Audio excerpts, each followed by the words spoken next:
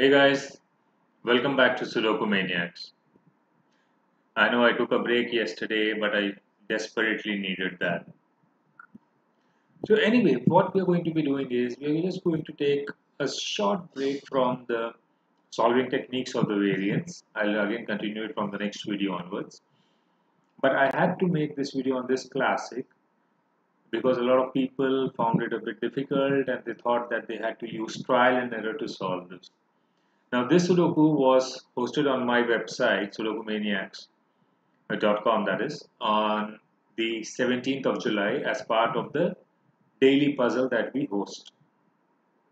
Now again actually when we what do you say created the puzzle the intention was never to okay just give me a second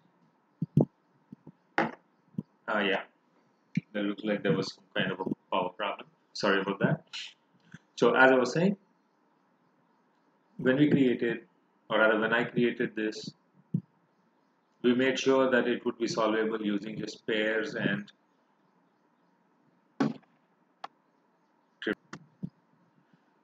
So I thought, why not create a video on this? Because a lot of people had asked me to do that. So we'll quickly go ahead with this and then from the next video onwards we'll continue with the series on the solving techniques for the variants. So the first thing that I see is 1 1 and this would be a 1 right? Then 5 5 this is a 5 this becomes a 5 so this is a 5 this is a 5 then the pencil marks. 7 cannot be in these three, it cannot be here. So the 7 is locked in row 8, which makes this a 7. 2 cannot be in these three, this becomes a 2. So this is my 4 8, 4 8 1. Right? 9 9. So this has to be a 9 and this becomes a 5 which makes this a 5 and this can be eliminated 9 9 9 is in this. 9 9 this is my 9 so the 9 is locked here. So in box 1 and 7 the 9s are locked in column 1 and 3 right? So for column 2 the 9 cannot be here it cannot be here. It's not here and not here because of these two. So this has to be a 9. Right? And for row 9, the last digits 8 and 6 because of this. So this would be 9, 8, 7, 6 is possible, 5, 4, 3, 2. Alright. So this would be a 2, 4, 3, 4, 2, 3 and this would be a 4 6 because 9 8 7 not possible 6 yes 5 no 4 yes 3 again is locked in row 7 in box 9 2 and 1 are already there in the box. So here 1 2 3 4 5 are locked 6 7 not possible so this would be a 6 8 9 and here I would have 1 2 3 4 5 6 is possible and 9 because the 7 and 8 are in the row and this would be 1 2 3 4 5 6 7 not possible 8 and then 9 now this is where the crux of the puzzle is. And I guess most of the people got faltered here. When you look at it you have a triplet of 6 8 and 9 correct? Which basically means the 1, 3 and 4 will be part of these three. This will be 1, 3, 1, 3, 4, 1, 3 here and this was a 1, 4.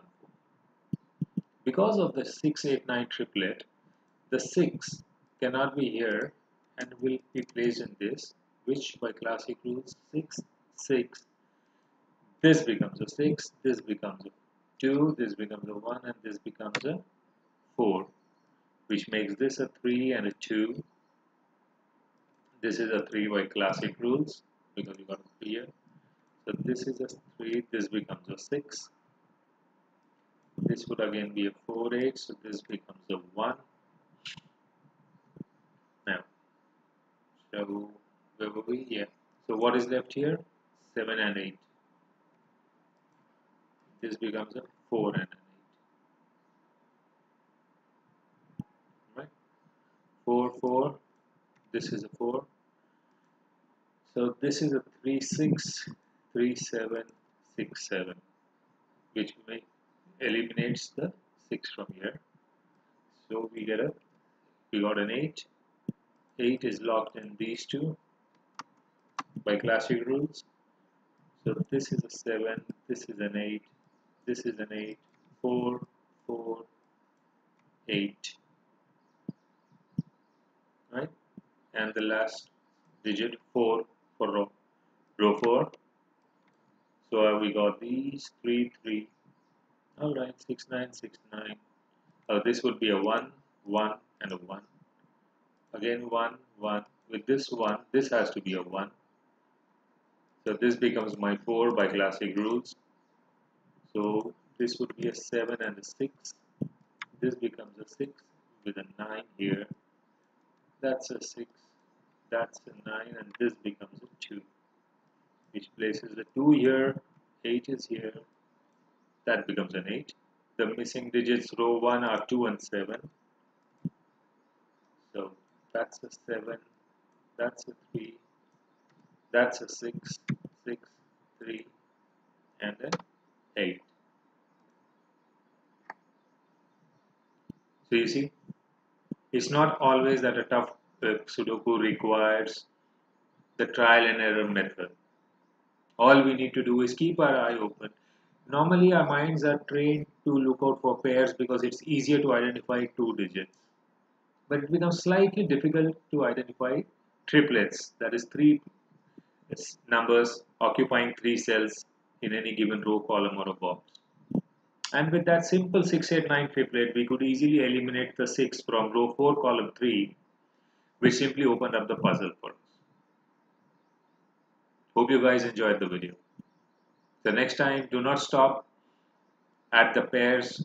Keep an eye out for triplets. At sometimes you may even have quadruplets, you know, four digits falling in four different cells. So all things are possible.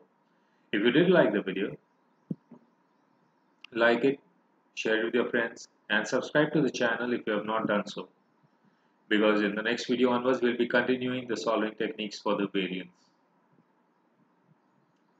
so till the next video. Oh yes. How can I just forget this? Sorry about that. The link to solve this puzzle online is there in the description right? So if you want to try it out again if you have already solved it or if you have not go ahead try to solve it and see how you fare. So till the next time, happy solving.